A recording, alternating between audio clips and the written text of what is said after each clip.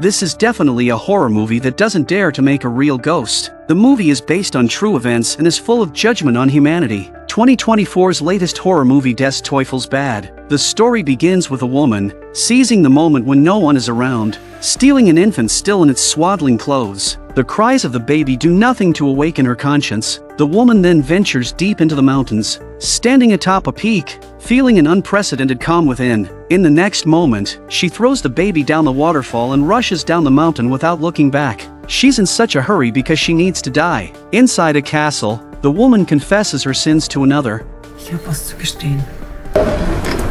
As the door closes, the darkness within human nature begins to grow and spread. In a small town, a newlywed couple is celebrating their wedding. The bride, Agnes, who has traveled far from home, sits on a bench as her mother-in-law undoes her hair and places a headscarf on her, then hands her a straw doll symbolizing fertility and prosperity. Agnes has now completed her transition from maiden to wife. Before the ceremony is over, her husband, Wolf, blindfolds Agnes, promising her a surprise, but as the blindfold is removed, Agnes is stunned to find that the mansion she imagined is actually a dilapidated house on a hillside. Not wanting to upset Wolf, she forces herself to stay calm and begins planning their future. Since her mother-in-law is a well-known local landowner, the grand wedding celebration continues into the night. However, when Agnes goes to find Wolf, she accidentally discovers him embracing another man, leaving her with a vague sense that something is wrong. Before leaving, Agnes's brother had given her a small piece of a human finger a gift that filled Agnes with joy. According to local customs, placing the severed finger of a sinner under the bed guarantees that the couple will conceive. After bidding farewell to her brother and mother, a night out exclusively for the couple kicks off. Unexpectedly, Wolf finishes quickly, leaving Agnes questioning her own allure. The next morning, Agnes is led by the villagers to the family's fish pond, but along the way, she loses her way. Following eerie signs in the forest, Agnes stumbles upon the village's execution grounds. Here, anyone who commits a crime is subjected to the most severe punishments, and their misdeeds are illustrated and posted on signs for all to see. The brutal punishments depicted fill Agnes with dread. After some time, Agnes collects herself and goes to work at the fish pond, but her mother-in-law shows no mercy to the newcomer, assigning her the dirtiest and most exhausting tasks. During the distribution of rations, when a worker with a large appetite asks for an extra piece of bread, the kind-hearted Agnes gives it to him without hesitation. However, her miserly mother-in-law quickly snatches it away, chastising Agnes for being too soft-hearted. Little does Agnes know, a disaster sparked by her good intentions is looming, desperate to conceive a child. She secretly cuts off the fingers or toes of a sinner under the cover of night, kissing them reverently before placing them under the bed, convinced that this will fulfill her wish. But despite Agnes's advances, Wolf remains indifferent. Soon, the sound of his snoring fills the room, leaving Agnes feeling deeply disappointed. The next day, her mother-in-law takes Agnes to the creek to wash clothes, where they unexpectedly encounter a neighbor who has been unable to conceive. Her mother-in-law makes a cutting remark,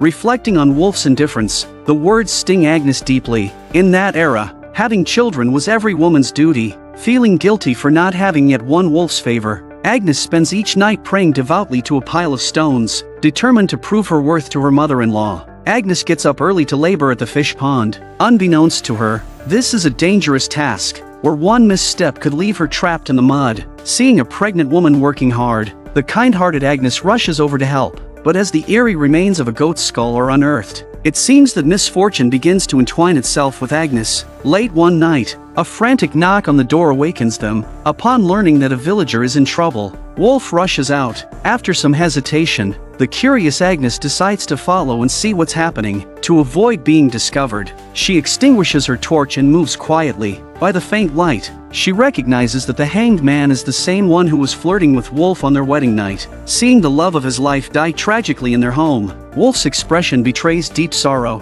a sight that pierces Agnes's heart. The next day, the townsfolk gather in the church to listen to the teachings of the preacher. In this town, the souls of those who commit suicide are condemned to eternal unrest. The only path to redemption is to commit a sin and pray devoutly beforehand. This fills Agnes with terror. The following day, while working, a pregnant woman asks for two pieces of bread to satisfy her hunger, but to avoid angering her mother-in-law, Agnes grits her teeth and refuses. This act goes against her kind nature, and in her frustration, she vents her anger on the bushes. The long-standing psychological pressure pushes Agnes to the brink of collapse. Брал бы в жене местную, такую, что работы не боится.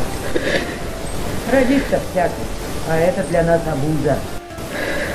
After overhearing a conversation between her mother-in-law and Wolf, Agnes becomes even more convinced that she is worthless in this household. She longs to have a child of her own, but despite all her efforts, Wolf refuses to be intimate with her. Overwhelmed by self-doubt, she feels trapped in a mire. Even finding herself briefly envying the women who were executed at least their souls found redemption in the end. Desperate to save herself, Agnes drags her exhausted body back to her parents' home and falls asleep in the stable. However, as the saying goes, a married daughter is like spilled water. No matter how much they might not want to, her parents have no choice but to send her back according to custom.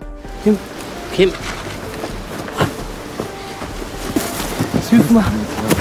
With Wolf and her brother working in unison, Agnes is eventually brought back to the oppressive home that weighs so heavily on her. The prolonged depression caused her to suffer from depression, and in order for Agnes to regain her health, her mother-in-law recommended that she visit the clinic for treatment. The quack runs the hairs through her cervical vertebrae and instructs Agnes to simply keep pulling on the hairs in the future to get rid of the blues. However, even as the wound festers, Agnes's condition shows no sign of improvement. One day, on her way home, Agnes unexpectedly finds an unattended infant. Out of kindness, she takes the baby home, but her mother-in-law scolds her for taking someone else's child without permission, and Wolf insists that the baby be returned to its parents. Though Agnes feels a deep reluctance as she looks at the infant, her reason eventually wins out, and the baby is returned to its rightful parents. As the flicker of hope dies once more, Agnes's world plunges into darkness. How terrifying can a woman who has lost her sanity be? Seizing a moment when no one is looking, she tastes rat poison,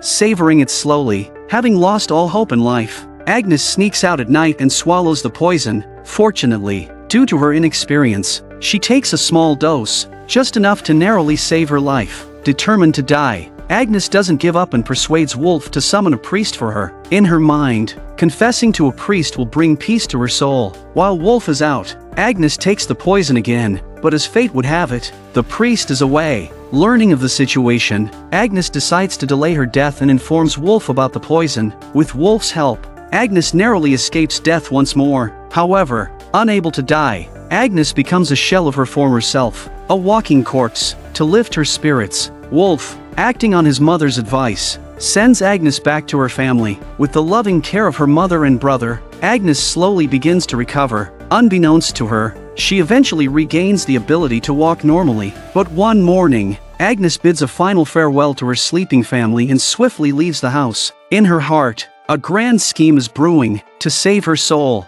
Agnes is resolved to take a risk and commit a grave sin. First, she deceives a child into leading her, then waits for the boy to close his eyes in prayer. Without a moment's hesitation, Agnes kills the boy. Afterwards, she rushes to the castle to confess, where she is forced to cut her hair and don the white garb reserved for sinners. What awaits her is a profound interrogation of her soul. Facing the priest, Agnes begins her confession, leaving out no detail as she recounts everything. Moved by the sincerity of Agnes's repentance, the priest absolves her soul, declaring that whether in life or death, her soul will be spared torment. Having found redemption, Agnes descends into madness. A few days later, new notices appear in the village's woods, depicting Agnes's crime of killing the boy. According to tradition, the villagers will sew Agnes into a donkey's hide, then drag her through the streets to serve as a warning to others. After the ritual is complete, they cut her free from the donkey hide and take her to the execution grounds. Seeing his wife appear, Wolf is overcome with emotion and tries to rush forward to save her, but the crowd holds him back. Before long,